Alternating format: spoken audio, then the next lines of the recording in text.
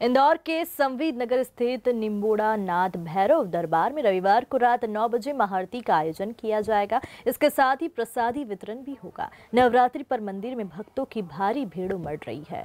मेरा नाम विकास जोशी साहब, निम्बोड़ा नाथ दरबार पे रविवार 6 तारीख 9 बजे महाआरती का आयोजन रखा गया है एवं खीर प्रसादी का आयोजन रखा गया है। सभी भक्तों, जो भी आना चाहे, वो अधिक से अधिक संख्या में आरती का लाभ लें।